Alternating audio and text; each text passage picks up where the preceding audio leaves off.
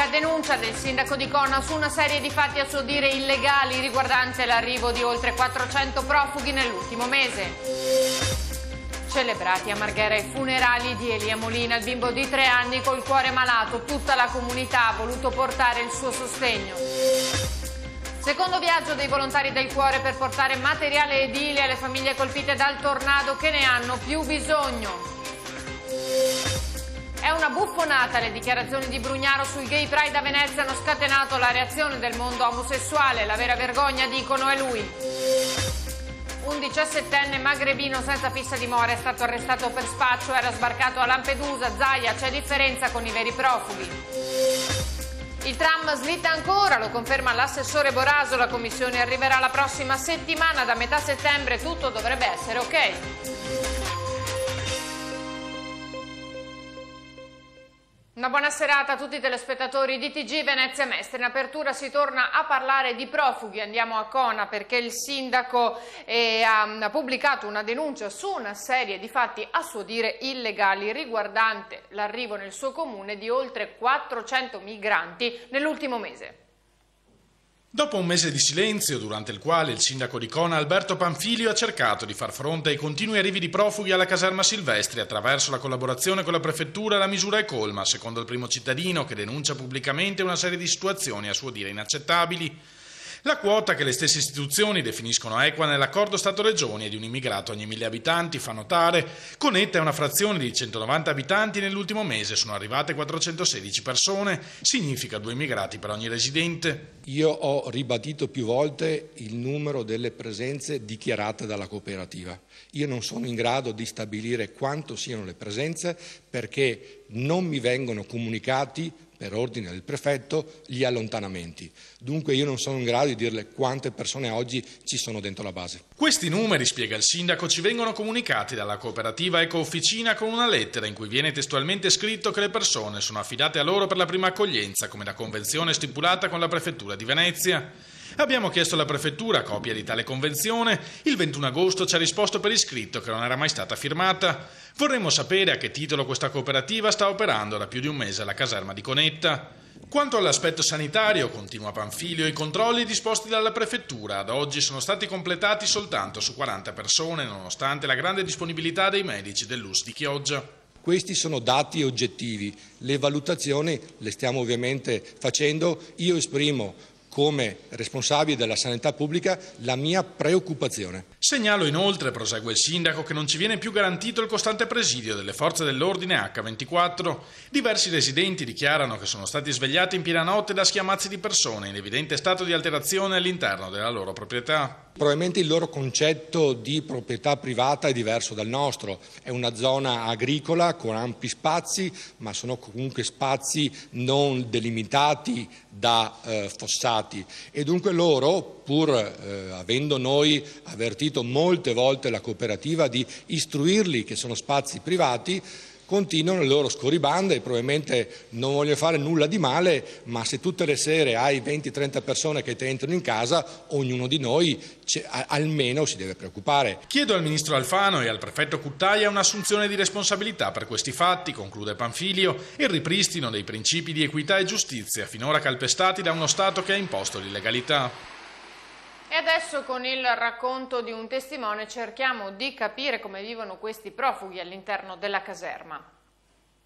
Non c'è nessuna regola, cioè ognuno fa quello che vuole. Secondo la testimonianza anonima di un addetto alle pulizie esterno alla cooperativa che gestisce la caserma Silvestri, i profughi trascorrono le loro giornate in un clima di totale anarchia. Una settimana fa mi sono quasi messo le mani addosso con uno perché mi ha cominciato a prendere in giro, capito? Io vengo qua a farti le pulizie e mi prendi anche per il culo, capito? È un mese che sono qua e non mi hanno ancora pagato. Impossibile, secondo l'operatore, gestire un numero così grande di immigrati con un personale così ridotto? Mi dicono eh, sono in 300, cosa ci posso fare? Siamo in 2-3 e così, capito? Chiudo un occhio. Allora sono 2-3 e due operatori che non so quale sia la sua qualifica e sono immigrati anche loro, che sono cioè, neri, non so adesso quanti anni siano in Italia, non so, però so che loro fanno anche la notte mentre gli altri ci sono 4-5 che vengono solo di giorno. Attualmente la caserma ospiterebbe circa 300 persone, un centinaio tra quelli arrivati a Cona mancano dunque all'appello. Gli ospiti della struttura vivono in camerate da una trentina di posti letto. C'è due camere che ci sono solo donne, invece c'è una camera che c'è sia uomini che donne. Mi sembra che non sia una condizione anche poco igienica, cioè, no, cioè no No, non hanno neanche non hanno armadi, cestini, non hanno niente, hanno i vestiti buttati sotto i letti proprio completamente. I volontari, continua a raccontare l'addetto alle pulizie, si limitano a servire i pasti e a tenere d'occhio la situazione. Per il resto i profughi sono lasciati completamente a se stessi. Io no, io vedo, io vedo raramente chi parla con, cioè, con, i, con i profughi. E questi tutto il giorno cosa fanno? Stanno là? Stanno là così, neanche, cioè, non hanno neanche cestini, scope, cioè non fanno niente, cioè, li vedi, sono così. Girano, mi girano intorno, non escono dalle camere, cioè, non riesci neanche a pulire perché ti continuano a girare intorno. Stavo pulendo il bagno ad esempio un giorno, mi è entrato uno e è andato a fare la pipì in doccia perché mi ha detto che il buco deve essere per fare la pipì, capito? La carta igienica non la usano e ah. prendono le bottiglie e si lavano con la bottiglia in doccia cioè, e in bagno, cioè c'è un allagamento tutti i giorni. Da quanto mi dice chi si è occupato della loro situazione, conclude il giovane, i veri rifugiati con diritto di asilo in questa caserma sono una minoranza. Ogni tanto viene ad aiutarci una ragazza che lavora a Monselice. E per dire è venuta ieri, ci ho parlato, mi ha detto che è andata alla commissione tipo Monselice e ce ne saranno stati due o tre che hanno diritto a stare qua, che hanno asilo o roba il resto sono tutti, non c'è nessun rifugiato, è tutta una, una diceria, guarda. Ecco, naturalmente questo testimone si è preso la responsabilità di tutto ciò che ha detto, questo racconto non è stato né confermato né poi ovviamente si è potuto verificare. Eh, mi complimento con la polizia di Mestre per eh, l'arresto dell'ennesimo spacciatore in quella zona, ma stavolta siamo di fronte a un caso limite che da un lato addolora, dall'altro preoccupa per la sicurezza della gente. Questo quanto ha detto il governatore veneto Luca Zaia sull'arresto con l'accusa per spaccio di un minorenne tunisino senza fissa dimora. Il caso addolora, dice Zaia, perché ci troviamo di fronte a un minorenne scaricato sul territorio senza alcun riguardo. Ancora una volta, peraltro, aggiunge, ci troviamo di fronte a un un cittadino della Tunisia, un paese dove non si muore di fame, arrivato come profugo ma che per la sua provenienza difficilmente può essere considerato profugo. C'è una differenza macroscopica, conclude il governatore, con i profughi veri, quelli che stiamo vedendo arrivare da Siria eh, dalla Siria in Macedonia e poi in Serbia, non dimentichiamo che invece i due terzi di quelli che arrivano di noi hanno le caratteristiche per essere, eh, non hanno le caratteristiche per essere considerati tali e dovrebbero quindi essere rimpatriati, cosa che naturalmente non succede o in rari casi. Andiamo ora a Marghera dove questa mattina si sono celebrati i funerali del piccolo Elia Molina, il bimbo di tre anni eh, che si è spento domenica all'ospedale Gallucci di Padova dove il suo cuore malato ha smesso di battere.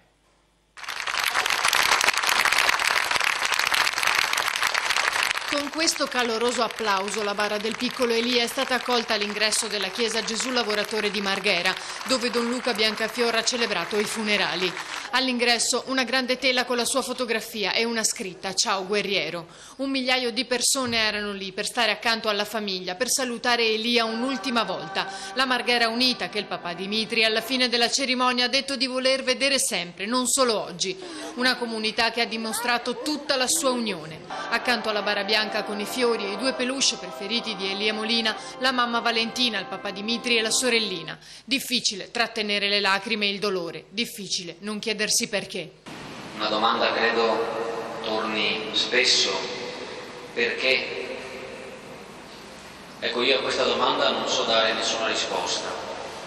La vita conta e proprio loro due ce lo hanno dimostrato in questi anni di attenzione, di cure, di premure nei confronti del piccolo Elia. E tutto questo ha un nome si chiama amore. Un amore che ha accompagnato Elia fino all'ultimo battito del suo cuore malato, in quella casa in via della rinascita piena di muffa. Un amore che deve essere più forte che mai per affrontare il dolore con la consapevolezza di avere accanto un'intera comunità. Parenti, amici, bambini hanno indossato una maglietta con la foto di Elia e un messaggio per lui. Ti amo.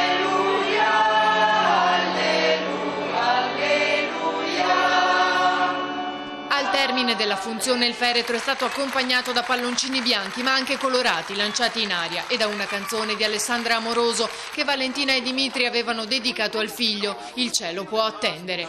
Poi la mamma, che non ha mai lasciato il cuscino del suo piccolo, ha avuto un leggero malore. Elia è stato sepolto nel cimitero di Marghera.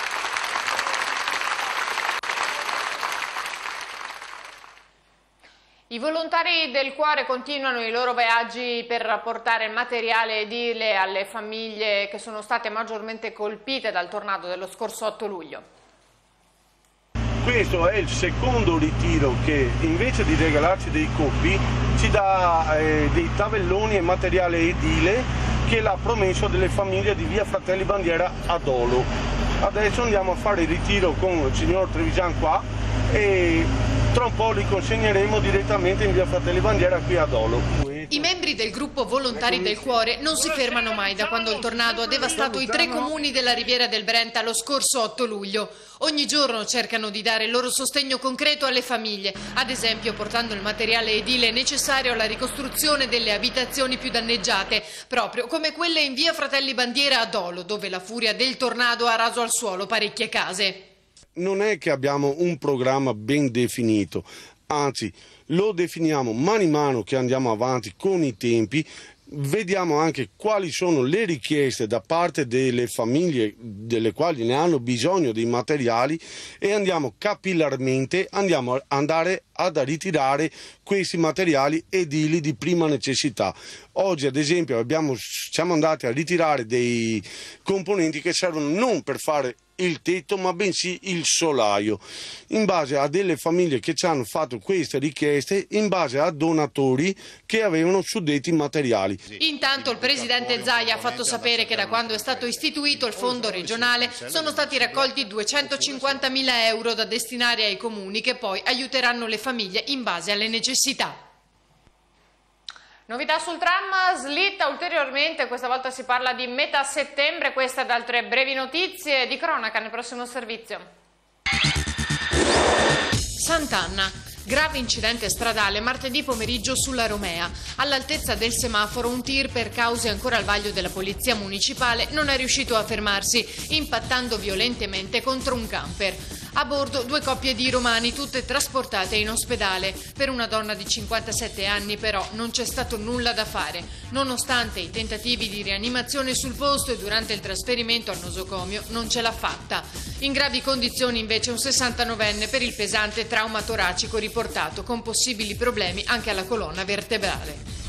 Jesolo. Lite violenta in un locale notturno tra i componenti di una comitiva di giovani residenti nel milanese e nel bergamasco. Ad avere la peggio uno dei milanesi preso a pugni con conseguente frattura facciale. Gli agenti di polizia sono riusciti a riportare per quanto possibile la calma. Ora le posizioni di alcuni del gruppo, almeno quattro, sono al vaglio delle forze dell'ordine. Non è escluso che anche le telecamere di sicurezza della discoteca possano contribuire a far luce sulla dinamica della vicenda, in attesa anche che il ferito portato in ospedale possa dire la sua.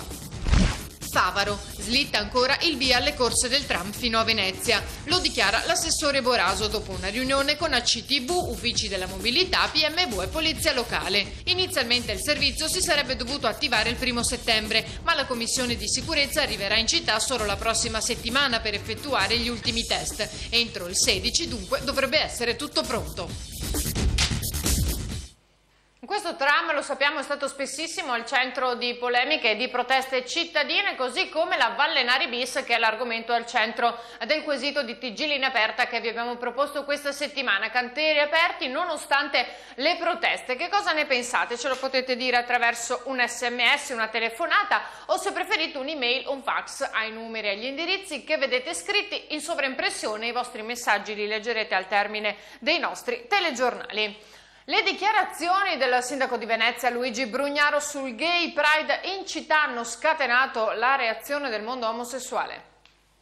È una buffonata, il massimo del kitsch. Vadano a farla a Milano. Questa è una delle dichiarazioni che Luigi Brugnaro ha fatto durante un'intervista a Repubblica a proposito del Gay Pride. Una presa di posizione in linea con la decisione di ritirare i cosiddetti libri arcobaleno dalle scuole e con la polemica social col cantante Elton John, definito sempre nella stessa intervista un arrogante che da tre anni non mette piede a Venezia. Se permette, ai nostri figli ci pensano i genitori, la famiglia con due donne e il bambinetto è innaturale. Le dichiarazioni del primo cittadino hanno scatenato le reazioni del mondo gay.